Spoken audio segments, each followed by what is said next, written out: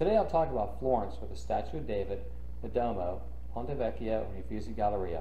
And as always, please subscribe to our channel for future videos.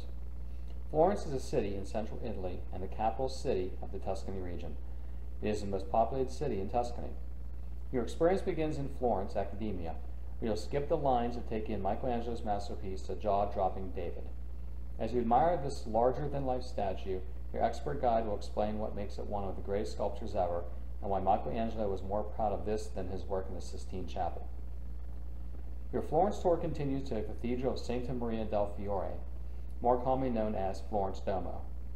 This incredible church was built in 1436 and still boasts one of the largest domes in the entire world.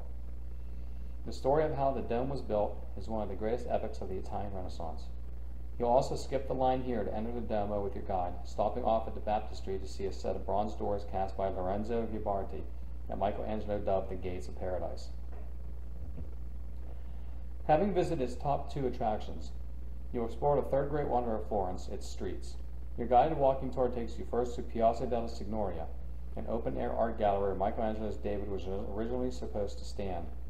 He was quickly relocated, you can still see a replica at the entrance of the Titanic Palazzo Vecchio. Standing in the shadow of this fortress-like palace, your guide will teach you about the Medici, the family of bankers who underwrote the Renaissance. It wasn't all sweetness and patronage with them, though.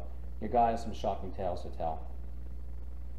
From Piazza Signoria, you'll pass by the Uffizi Galleria and a handful of wonderful hidden sites like Il Porcellino, the pig whose snout promises luck, the leather market, and of course the Ponte Vecchio, Florence's most picturesque bridge.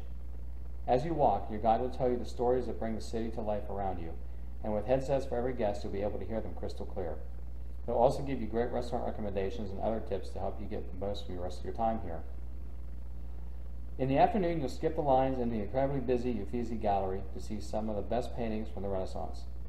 The Uffizi makes for a fantastic visit because its galleries are organized chronologically. As you move through the rooms, your guide will be able to demonstrate the development of artistic styles from medieval times to the Renaissance and after. He'll show you how modern paintings bursting with colors and emotions developed from the flat, cold compositions of the Middle Ages. Don't expect a lecture, our guides are much more fun than that. Their focus is on injecting character into your experience of the Uffizi so you understand not just the paintings, but the masters and the culture that created them. There's a lot to see in Florence and a lot of stories to be told. If you're short on time, these tours are a great option, optimizing your time with skip-the-line access at all the major attractions. Thank you for watching.